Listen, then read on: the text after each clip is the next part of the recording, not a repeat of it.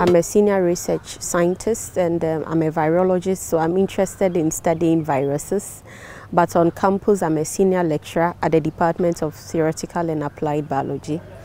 I love microbiology, so I teach microbiology. I teach research methods to both undergraduate and postgraduate students. So I don't think I was away for a long continuous time. It was short periods and um, in 2008 I got the opportunity to be on a project um, and we're interested in looking at respiratory causes of respiratory viruses in African children. Because the intention or you know that of course in Africa almost every fever is deemed to be caused by malaria. But we're interested in the other things that causes fever or that cause fever in these children so I had to go to Germany indeed I went to the oldest tropical institute in Germany known as the Bernhard Nocht Institute for Tropical Medicine, where I had a rare opportunity of working under one amazing um, virologist known as Christian Drosten. So if you have been following the COVID um, issues or news in Germany, I mean, he's the one person fronting, giving advice, virology related advice to um, the country in Germany.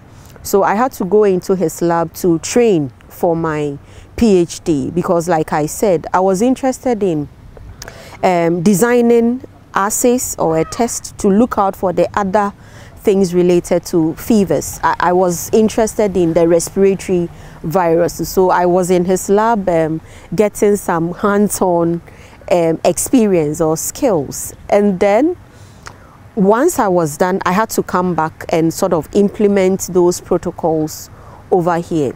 But whilst there, I realized they were bringing samples from, um, from is it um, Panama? And these were fecal samples of bats. And I sort of felt um, I was interested in, in those samples. And then in 2012, I had to go back.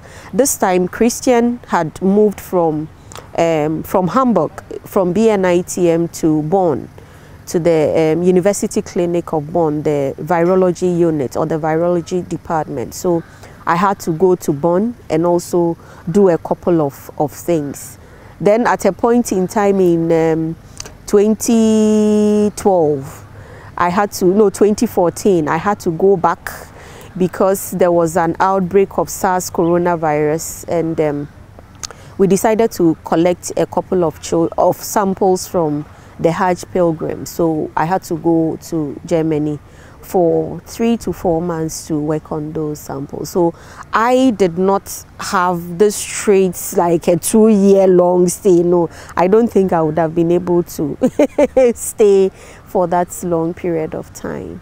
Um, amazing. I mean, a lot of things, my perception about science and about research about how things, you know, the Germans are known as German machines. So I keep on saying that, look, if you had that rare opportunity of being trained in German, then it means that you are really uh, top notch. And the guy I was working with, Christian, I mean, the whole world, everybody was bringing their samples into his lab. So the perception, and you know what, how to even work as a scientist, you can't be slow because you are always thinking. And all these things changed a lot of things about, about me. So it was a positive one, of course, beyond um, building or getting those hands-on experience, skills, highly skilled, um, different things to, you know, to help me execute a lot of activities in the lab. And of course, when it comes to collaborations, because he collaborates with a lot of people, I mean, all over the world, I also ended up getting a lot of collaborations. So after my PhD, I was a postdoc for two continuous time periods. I also got a lot of collaborators and these collaborators I'm currently working with. So the transition from a PhD student to a postdoctoral scientist to a young faculty member, so-called early career researcher, and I don't know how I can classify myself now, whether I'm still an early career researcher or not. But the critical thing um, I, I brought back is I will not say was is um, that collaborative spirit because now I don't think you can sit all alone in your lab and do all sorts of things. You definitely need to collaborate with people. So that collaboration and um, the change in mentality.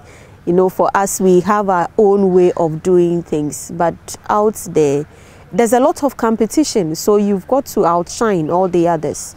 And I think um, these are things that I decided to instill in myself. Yeah.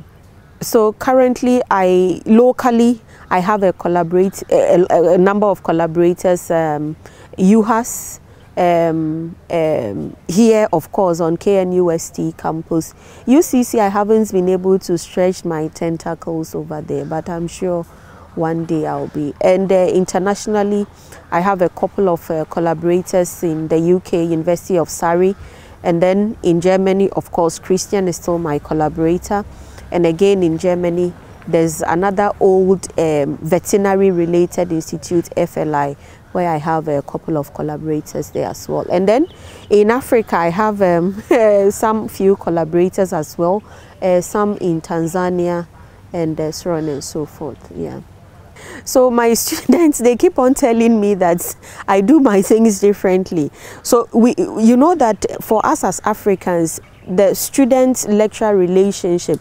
So the students would want to always come and see your face you know meet up with you but out there it is you you'll only meet the person in the in the hallway or the coffee room or things like that everything is about emailing so things as simple as how to send emails when you are crafting that email message what needs to be in the email you need to craft a subject, an appealing subject. So all these little, little, little things, we are not exposed to them. So these are things I try to instill in my students, my project students. They tell me that I give them a lot of work. Um, things like how to use a reference man, you know, the simple, simple things that we may never be able to teach our students in class. This is um, outside the classroom, but in the classroom, time management is, um, is critical. Mentorship is also very critical for me. So these are the few things. And of course, um, I do a lot of application related um, activities in my class in my classroom i mean in my classroom environment. So occasionally i'll ask all of them to bring their phones out because i see that for this generation they are phone technology related so i incorporate a lot of these things in my classroom occasionally we play games i mean not just any game but related to the subjects we are you know, studying or they are learning in class. I think it brings in a lot of fun, excitement. They are able to relate to it very well. I mean, now you can't just go stand in front of them and rattle. Um, they will never even listen to you. But as you incorporate some of these things, which I try to do, I'm not perfect yet, but I think I try to do a number of these things in my in my classroom. So um, currently, I said I started working on respiratory viruses. And um, just in 2002, we know there was an outbreak of SARS coronavirus. And uh, in 2012, 2013, there was an outbreak of another coronavirus, this time caused by MERS coronavirus. And like I said, when I went to Germany, to Hamburg in 2006 to get hands-on training, I realized they were bringing um, fecal samples of bats so I told Christian that that's for us in Ghana, bat is a delicacy. And you actually find bats flying all over. There's actually a huge colony in Kumasi. So he decided to come down and uh, we went on an exploratory visit. We took samples, fecal samples, and we did it in a very simple way. We only lined the floor of the under the trees where the bats were hanging and we allowed them to you know poo to ease themselves and we brought the samples to here to KCCR so I always say it with a lot of pride that we're able to detect the first few coronaviruses here right here on this campus and so that sort of um, pushed us or catapulted us to get into studies related to coronaviruses.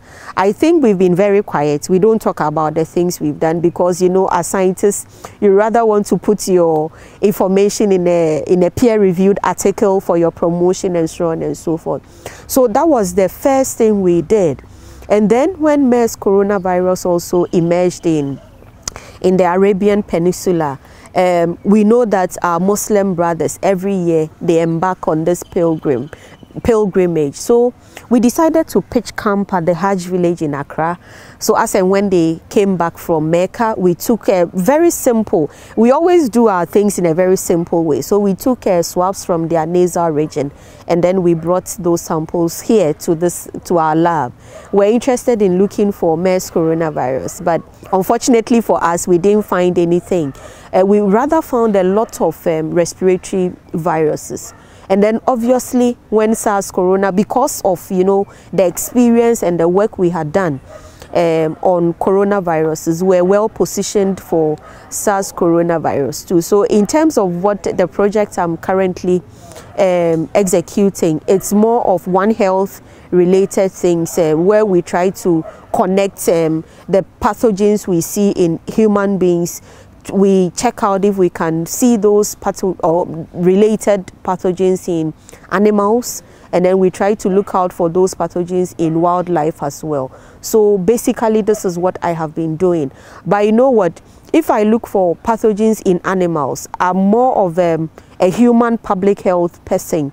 So we also try to offer some services to some of our peripheral hospitals as well as the referral hospitals. So if clinicians see rare clinical presentations, they will take samples and bring those samples to to us to sort of you know look into and um, another project I'm I'm currently working on is on um, some zoonotic infections in in monkeys in monkeys um, like um, syphilis because elsewhere these pathogens are in the monkeys and you find the monkeys with lesions and uh, human beings end up contracting this pathogen from the monkeys.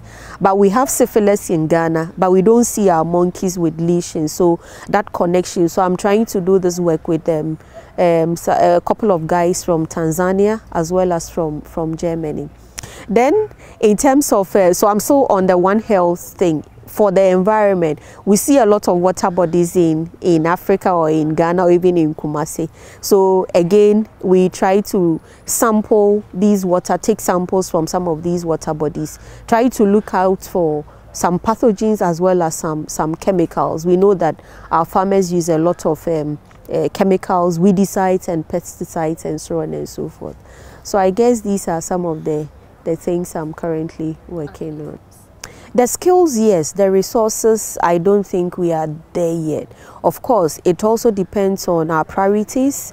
Um, elsewhere, people know that, um, especially in the industrialized um, nations, they believe that research is what will move their nations ahead. So I guess we ask for the academic bits and everything, but it has to do with um, the other resources, i.e. equipment, the intellect we have, the knowledge, the skills, we go there, we pick those skills. But you know, when you are done with your studies and you want to fully come back, then it becomes challenging because you may have been exposed to a lot of equipment, but you come back and then you don't find um, some of those resources. If you don't take care, so if you don't collaborate, then you end up becoming stale as, um, as someone who had been, who was groomed in uh, some of these countries. So I guess, um, and I think things are changing, maybe thanks to COVID, where we realize that indeed it's so important for us to use local things to solve our own problems. But I guess it has to do with funding because if I need to execute or conduct a research activity or I have a research agenda, I need the support. So it can be financial, it can be technical, and so on and so forth. So I pray that we change, you know, our perception when it comes to funding our own resources. I mean, sometimes Christian will tell me that this, this is a local problem. So it needs to be solved locally. The international people may not really benefit from solving such a problem. So I think that we need to intentionally and purposefully try to, you know, dedicate some, some funds to solve some of our local issues. I have a couple of friends, they are really interested in coming. But, you know, like I said, if they don't have the resources to work with, I guess that is how come collaboration is very important because you collaborate and then at a point in time, you sort of wean yourself off your collaborators. But I think that for those out there who want to come back, they need to do it gradually. Indeed, if you decide to just come back at a go, you get the shock of your life.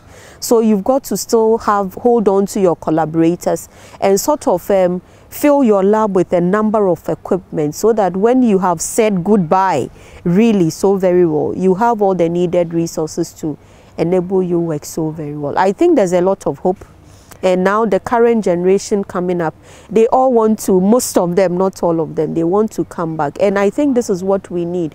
We are so very well we have the capacity we have the intellect and i think that we can solve our own problems. And maybe even one day helps help solve some of their problems for them as well. Of course some of the fond memories have um, been with the people I worked with and uh, the fact that I'm still able to, to work with them. Um, well, as an individual, I think um, I see myself um, being one of the few female virologists trying to solve some of the virology related problems we have. I guess that is how come I'm still holding on to my collaborators. Um, generally, I think 10 years time, I see Africa evolve maybe as the next uh, rulers of this world. But um, I think that this is, this is very, very possible for us as as Africans.